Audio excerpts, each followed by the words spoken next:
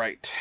So, time for another little um live stream review thing. I'll be having an, again an edited version of this go up on the YouTube channel um next Wednesday.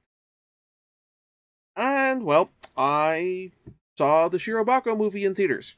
Um they did a Fathom event screening. I saw this at my local theater at my local theater. I didn't go to the bigger one in Bridgeport. I kind of regret not doing that because in the case of event of this screening, we did have some technical difficulties that caused me to miss a very early chunk of the film. It didn't cause me to miss too much story, but it uh, I was able to kind of pick up more or less what I missed. But it was still frustrating. It's a, a yeah, it was frustrating. Um, so the fundamental premise of the Shirobako movie, let me pull a couple things in mind real quick.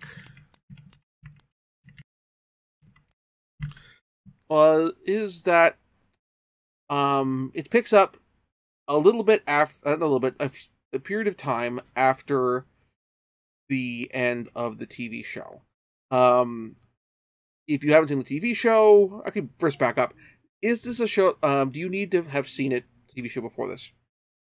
Kind of yes, it helps. This is a getting the band back together story, and unlike the Ura getting the band back together story is the Blues Brothers movie, and that film doesn't necessarily require as much of prior knowledge of the band because the members of the band were never really characters in sketches on Saturday Night Live, outside from you know Jake and Elwood. And even then, it, the film does a good job of establishing those characters from scratch if you've never watched the, the sketches. But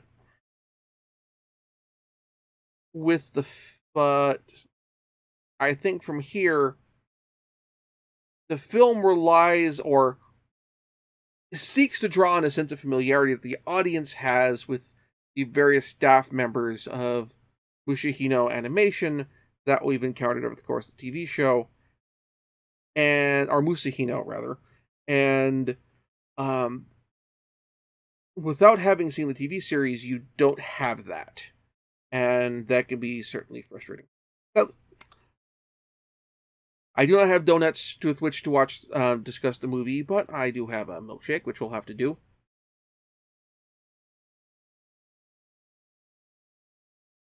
Any case, um,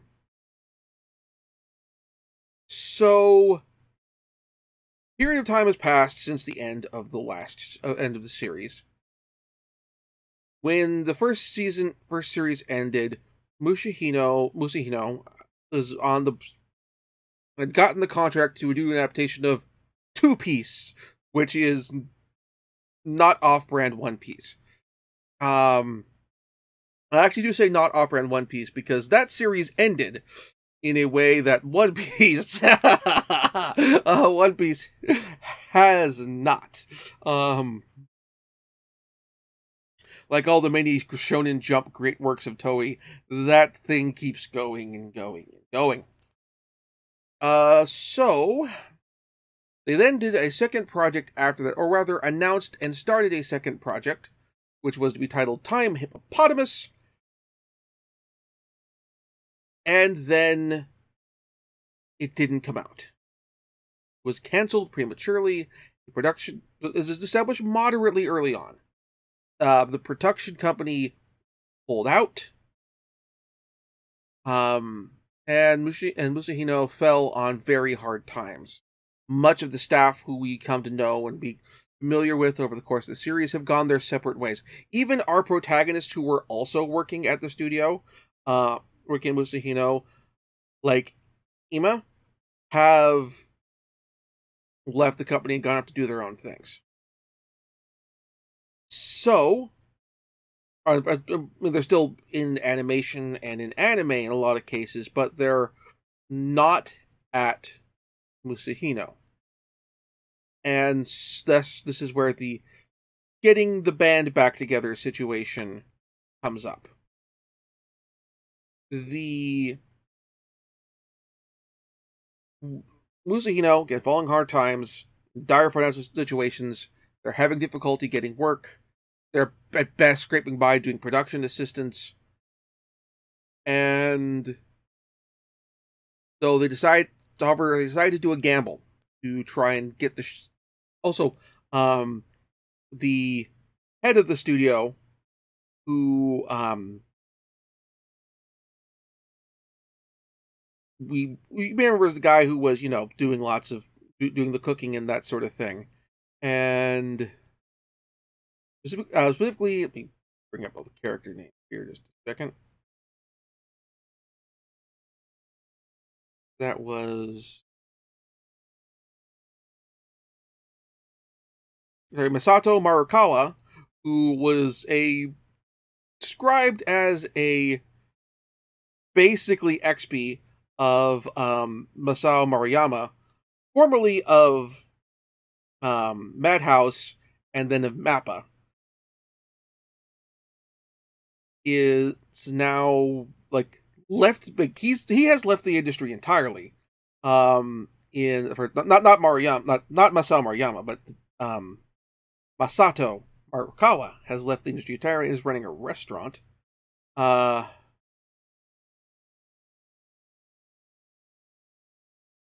and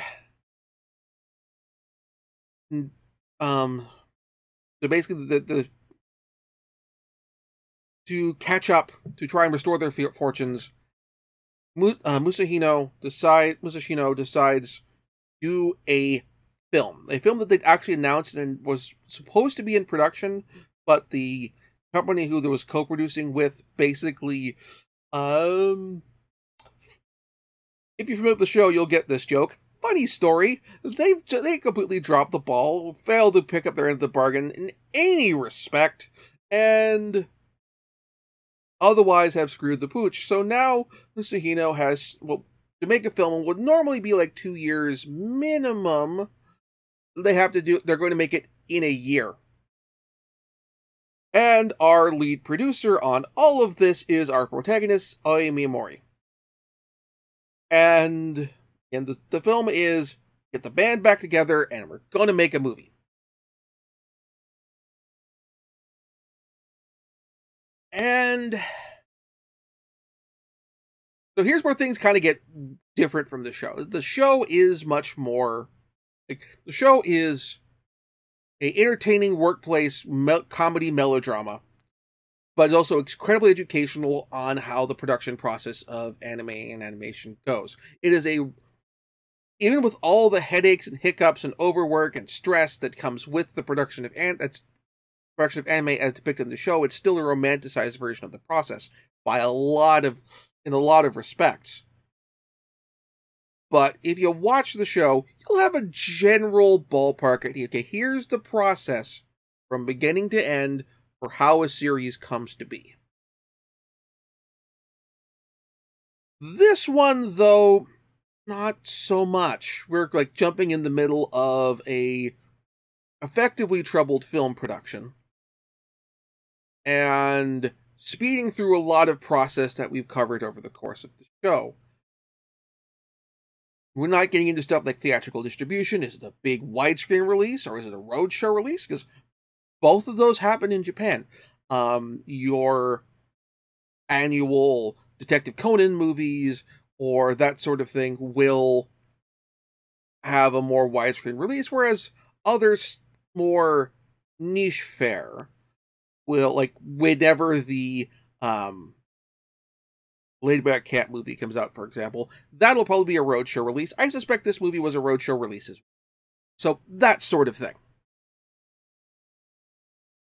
And so it doesn't it never gets into that side of things. And it doesn't get as much into okay when you're trying to make theatrical quality animation in half to quarter of the time what's different? It doesn't get too much into that either. There's a lot of narrative corners cut. And i think having seen the show and now having seen this i now kind of understand where a lot of the stuff in the in the movies about movies that tends to kind of catch Hollywood's eye where that comes from in terms of narrative shortcuts when talking about the theatrical production process.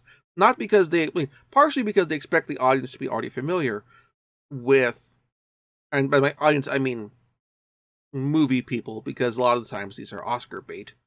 Um, partially because they expect movie people to be familiar, partially because I think they expect, and not to expect, but the time that it takes to put into making the movie, you don't necessarily have time to do within a movie. This probably could have been an OVA series, like a three or four, like not even a four part, because that's actually getting the feature length, but a, and this is like a two hour movie, um, with like a six episode OVA or even a full cour of animation to kind of get this story across. So there's that difficulty.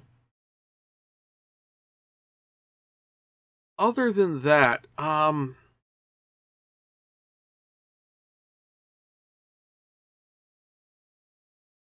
so it turned um the film is very solid, the animation is very good, but what they end up having to do is if you remember a lot of the fantasy sequences from the show, um, it rely ends up falling back a lot more on that. And they're very gorgeously animated, and oftentimes they include lots of references to other works, particularly works of animation.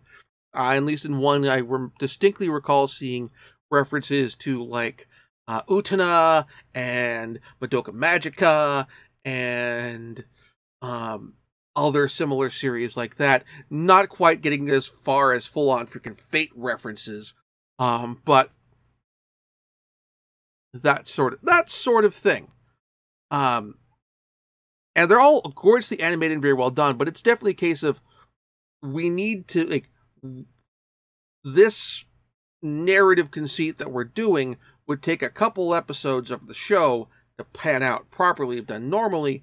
We're going to do a fantasy sequence here.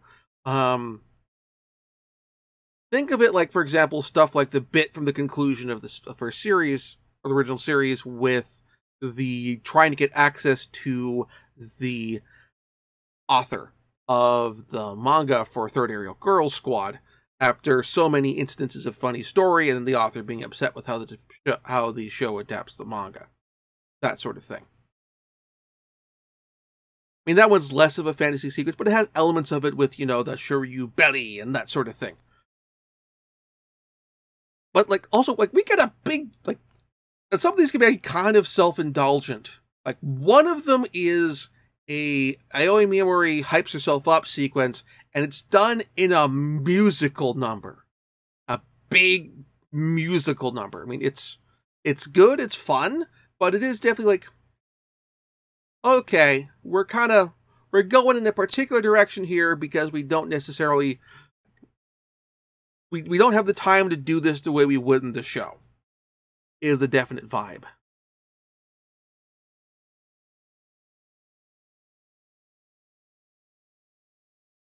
Other than that, um, there are a few bits like on this in terms of discussion of the anime industry and references to stuff in the industry that the show was doing did stuff that was clear definite references to stuff things like for example um, the not space runaway Ideon reference um, for the show they go to early, um, early on during the production of the first series, Exodus. Here, this can't like have been like it's too late. It happened, or the event happened too recently for them to have referenced this in the show. But this clearly has to be a thing that has happened several times before because they're referencing it here. Um, I'm particularly thinking here in terms of basically, again, the inciting event with uh, Musashino is they get the rug yanked out from under them during the production process because the show, the paperwork, the producer pulled out, things weren't actually approved. There was a change in management in one of the production companies, and everything got shut down while they were eight episodes into the into production process. And I saw this in the theater, and the first thing my brain went to is, oh, GoHands, Studio GoHands, and what happened with the Tokyo Babylon adaptation because when the license got yanked from GoHands because the plagiarism allegations and all of that, just this past week, news story like broke that GoHands is doing is taking legal action for back funds for uh, animation created because they were done. 100% principal and like animation key animation in betweens voice acting sound music everything done with the first cour which admittedly considering GoHands' track record for animation has a certain degree of uh of rob liefeld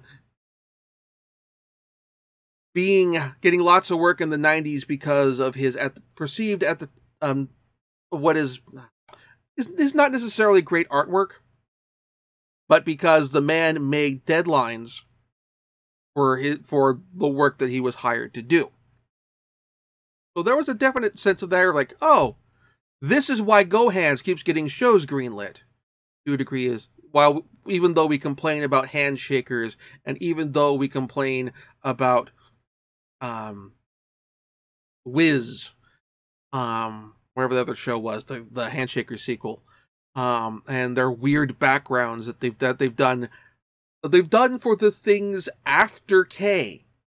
Um, like oh, this is why it's hooking work because they get crap done on time, and you can confidently say that you do not have to worry about a awkwardly shoehorned in filler episode, like for example what happened with Darling in the Franxx but in any case, uh I did really like the show. I am the film, and I am, I am frustrated that I'm that because of difficulties with the screening, I didn't get to see the first fifteen minutes. Um, I it's I, I'm guessing fifteen minutes. Like I didn't get screened back up until about seven fifteen, and the move this movie was supposed to start at seven, but there could have also been a delay in when it actually started on the projectionist side. I can't say. Um, I missed a chunk of the beginning, and and nice to know what I missed. But the pacing and the narrative presentation was was such that I was able to get caught up to speed very quickly as to when it came back up, which was which was nice. And I have looks like I have a viewer in the chat. Mm, no, no. So, um, if you, so I think nobody's watching this live at the moment. In that case, um, for those watching the archive, if you saw the movie, let me know what you thought. Um, please post your comments on the, on the YouTube video.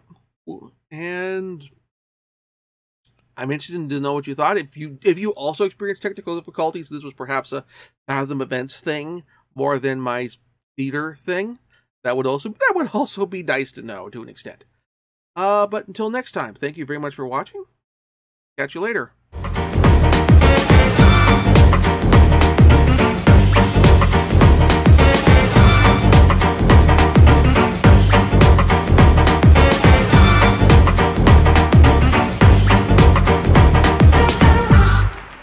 Thank you very much for watching. If you enjoyed the show, please like and subscribe. And also consider backing my Patreon. Patreon backers get episodes up to one week early of this show and any future Let's Plays. Also, please consider backing my Ko-fi. Uh, toss me a few bucks also helps support the show, and it's not a monthly obligation or anything like that.